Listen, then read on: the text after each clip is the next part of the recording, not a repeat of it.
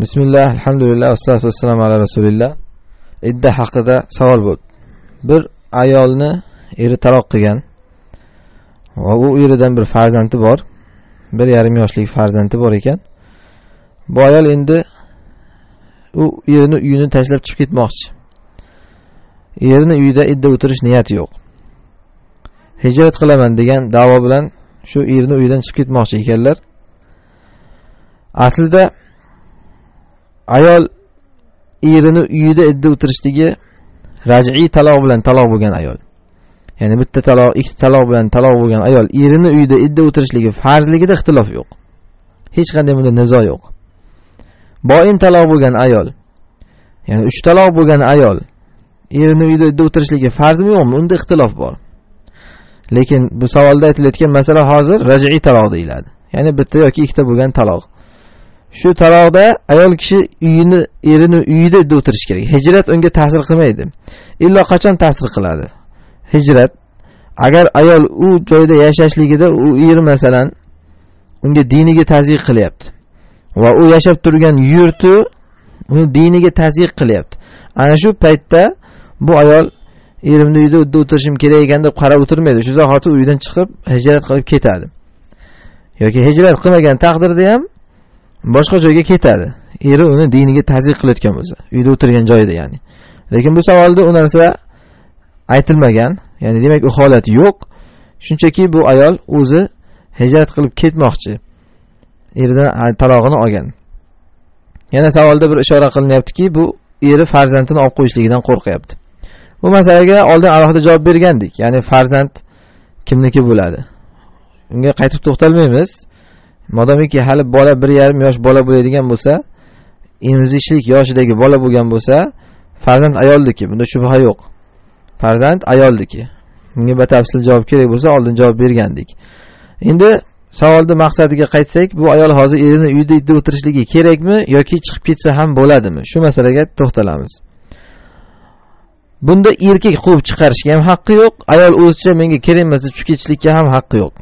dalil alloh taolo oyatda aytadi ya nabiyyu إذا طلقتم النساء فطلقوهن لعدتهن وأحسوا العدة واتقوا الله ربكم لا تخرجوهن من بيوتهن ولا يخرجن إلا أن يأتين بفاحشة مبينة taloq oyatini bayon qilib alloh subhana taolo shuni asnosida aytadiki ularni ayollarini taloq qilingan ayollarni uylaridan chiqarib yubormanglar deydi mana bu erkaklarga hukm hech qaysi erkak seni taloq qildim bor yo'qol deb chiqarib yuborishga haqqi yo'q.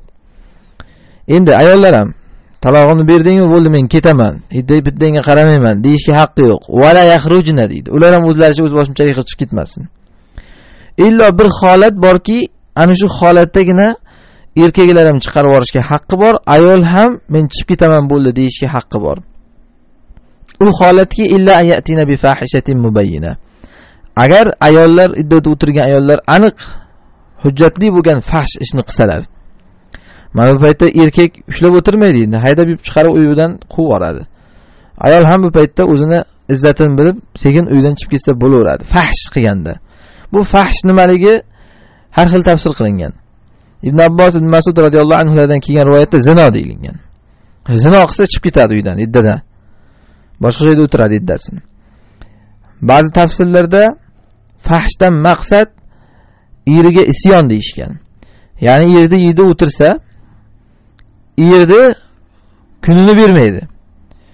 Haligi mijg'ovlik qilaveradi ayol janjalni yana kattartiradi mana bunaqa paytda u erkak uni chiqarib yuboradi men boshimni ortma bor yo'qol deb chiqarib yuboradi ya'ni taloq bo'lgandan keyin ham agar tinchimasa ba'zilar aytganki bu fahsh mubayyin aniq bir bayon bo'lgan fahshdan maqsad agar har qanaqangi buzuqlikni qilsa har qanaqangi ma'siyatni qilsa masalan erni xonadonidagilarga buzuqlik qilyapti. Buzuqlik degandan maqsad tili yomonlik qilyapti. Erni otasigami erni onasigami yoki erni masalan bolalari bor o'shalargami yoki uyda o'g'irlik qilyapti. Yoki shunaqa har qanaqangi buzg'unchilik fosiqliklar qilyapti. Ayol kishi iddada o'tirgan paytda. Mana shu paytda erkak uni chiqarib yuborishga haqqi bor. Bo'lmasam alloh taolo oyatda aytgandek la tuxrijuhunna min buyutihinna. Ularni uylaridan chiqarib yubormanglar deyapti. Vala yaxrujna. Bo'lmasam o'zlari ham o'z boshimchalik bilan chiqib ketmasinlar deyapti. Oyatda bir nuqtaga e'tiborni qarataylik la tuxrijuhunna min buyutihinna degan. Ayollarni uylaridan chiqarib yubormanglar deyapti. Ya'ni uylarni ayollarniki deyapti. Nima uchun shunaqa deyapti? Chunki hali sen bu uyni ayolisan degani. Sen hali bu uyni ayolisan degani. Bu uy hali seniki degani. Ya'ni sen hali xotinsan degani. Birovniki chiqib ketishga haqqing yo'q hali. Mana inson ayol kishi xotin bo'lgan paytda birovni xotiniligida taloqdan oldin birovnikiga erini iznsiz chiqib ketishligi mumkin bo'lmaganidek haliyam sen o'sha uynikisan degani. Shuning uchun unga nisbatini beryapti. Ularni uyi deyapti. Ya'ni o'sha xotinlarni. Xotinlarni uylaridan chiqarib yubormanglar deyapti. Xotinlarni uylaringdan deb erkaklarga aytmayapti. Xotinlarni u xotinlarni o'zlarini uylaridan ya'ni go'yoki uylar xotinlardek hali. U xotin ya'ni tamomiy xotin hali. Chiqib ketishga haqqi yo'q deyapti ya'ni. Shuning uchun ular o'zboshimchalik qilib chiqib ketmasin. Hali sen o'zboshimcha bo'ladigan xotin emassan hali. Taloqni oldi degani bo'ldi degani emas. Hali sen birovni xotinisan hali degani. Shuning uchun oyatni davomida aytadi. Tilka hududulloh bu ollohning hadlari bu. Seni haqqing emas ikkalangni meniki seniki emas bu. Mana uyingni ol boshingdan qolsin yoki chiqib ket uyimdan degan gap yo'q. Ollohning hududlari bu. Tilka hududulloh fala ta'tadu tilka hududulloh va man yata'adda hududalloh kim Allohning hadlarida haddidan oshsa faqat zolama nafsah o'ziga zulm qilibdi deydi. Mana bu haddan oshgan odam o'ziga zulm qilibdi. Ya'ni bu yaxshilikka erishmaydi degan. Quvib chiqargan erkak ham yaxshilikka erishmaydi. Unaqa qilib o'z boshimchalik qilib chiqib ketgan ayol ham yaxshilikka erishmaydi. Hech qaysi yaxshilikka erishmaydi. Ollohni qonunidan qochgan odam yaxshilikka erishmaydi. Shuni bilib olish kerak. Erkak bo'lsin ayol bo'lsin. Shuning uchun oyat davomida alloh taolo aytadiki la tadri sen bilmaysan deydi. Payg'ambarimizga aytyapti. La tadri amro sen bilmaysan ajab emas olloh shundan keyin bir ishni paydo qilishi deydi. Ya'ni nima degani bu? Hech kim bilmaydi. Payg'ambarimiz alayhissalomga hattoki aytyapti er ham bilmaydi xotin ham bilmaydi ko'rgan senga ko'zim yo'q deb turgan erkak ham bilmaydi. Seni ko'rgan ko'zim yo'q deb turgan xotin ham bilmaydi. Alloh paydo qilishi mumkin uni o'rtasida boshqa bir ishni ya'ni yana bir birini er xotin qilib qo'yishi mumkin. Bu voqeda ko'rilgan.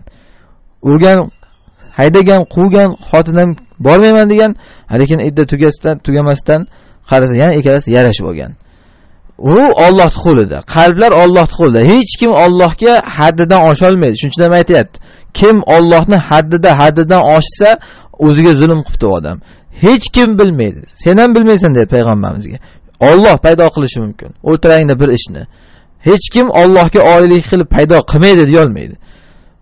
Ya'ni men bilaman yarashmayman bo'ldi deb erkak ayta aytolmaydi men bilaman bo'ldi qaytmayman xotin aytolmaydi modomiki taloq raj'iymi? Ayol erini uyida idda o'tirishligi farz. La tadri hech kim bilmaydi. Ajab emas olloh shundan keyin bir ishni paydo qilar. Olloh paydo qiladi sen paydo qilmasliging ham erkakga ham xotinga ham.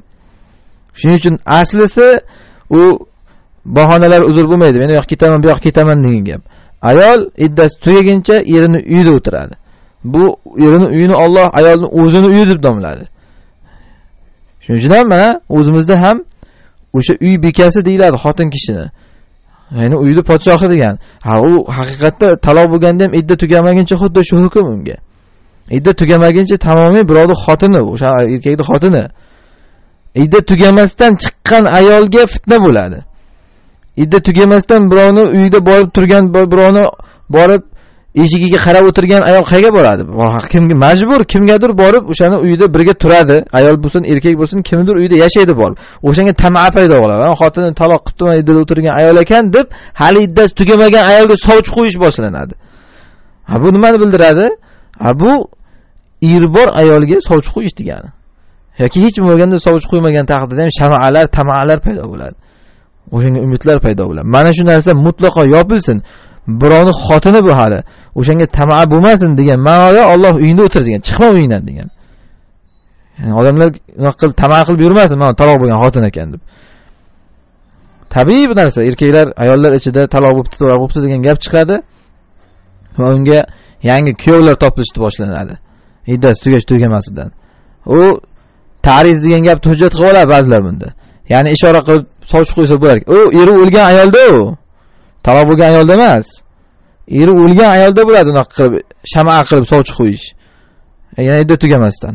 Modomiki taloq bo'lgan tamom birovni xotini hali. Birovni xotiniga borib qanaqa sovchi qo'yib bo'ladi? Mutlaqo nojoiz. Ayol kishi idda vaqtida keyin uyda o'tirish kerak. Bu hozir hijrat qilaman deganda takror aytyapmiz ya'ni hijratga o'sha majbur bo'lib turmagan bo'lsa dinini qoyim qilolmaydigan darajada shu hijrat qilishga uni bo'yniga farz bo'lib majbur bo'lib turmagan bo'lsa bu hijrati unga uzr bo'lmaydi. Idda ichida. Chunki ayol kishi uyda o'tirishi kerak idda vaqtida. Birovni uyiga borganda ham uyda o'tirish kerak. Birovni uyiga borib ham ko'chaga chiqib yuravermaydi. Zarurat uchungina ko'chaga chiqadi. Zaruriy masalalar uchungina ko'chaga chiqadi. Shunchaki o'zi ko'chaga chiqib aylanib bozorga borib boshqaga borib yurmaydi. Shuning uchun mana bu holatda ayol ijozati yo'q. Erini uyida idda o'tiradi. Agar olloh unga yaxshilik bitishini xohlasa shu yaxshilikcha kerak bo'lsa mana farzandini ham o'zi bilan olib ketishni xohlasa ollohni qo'lida ollohni hukmiga osiylik qilmaslik kerak ollohni hukmiga taslim bo'lib erini uyda iddasini tugatish kerak. Shundan keyin ollohni hukmiga taslim bo'lsa mana olloh o'zi uni yaxshilikcha farzandini ham o'ziga berib qo'yadi. Va yana yo'lini ham Alloh unga oson qilib qo'yadi. Bo'lmasam shu isyoni uchun ana shu hamma qiziq hamma butun dunyoni o'zgartirgisi keladi shariat hukmini qo'llaydi. Lekin o'zidan nafsida bitta odam shariat hukmini qo'llolmaydi. Bitta masalada. Shunaqa qilib shariat qo'llanadi. Hamma o'ziga qo'llaydi hamma o'ziga qo'llaydi shunda o'z o'zidan shariat qo'llanadi. Faqat u qo'lini kelsa boshini chopish emas shariat qo'llash degani. Hamma o'zini nafsi shariat qo'llash kerak. Man hijrat qilaman deb. Hijrat qiladigan boradigan joyida shariat qo'llanadi. Shariatni hozirdan qo'llasin. O'sha joyga yetib borishga olloh unga tavfiq berishi uchun shariat qo'llanayotgan yerda yashashiga ollohni muvaffaq qilish uchun o'z nafsi shariat qo'llab ketish kerak. Bu bahonalar uzr bo'lmaydi. Illo takror aytdik shu darajada er unga zulm qilgan urgan so'kkan bo'lsa ha er uni ana shunaqa diniga qo'ymayotgan bo'lsa uyda ana ugina ijozat bo'ladi. Shuning uchun hozir biz ularni o'rtasida qozilik qilayotganimiz yo'q. Ya'ni u qozilik qilish uchun ikkalasini ham dardini eshitish kerak. Biz shunchaki bir tomondan eshitilgan gap bilan agar shunaqa bo'lsa shunaqa bo'ladi deb shunchaki maslahat tarzida fatvoni aytyapmiz allohu alam.